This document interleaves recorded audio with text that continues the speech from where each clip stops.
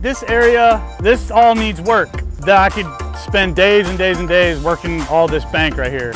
What does happen here is when we go take all those muddy oysters and we go wash them and we bring all that back out here and when we wash all the mud off those oysters, again, another hundreds and thousands of little oysters come off.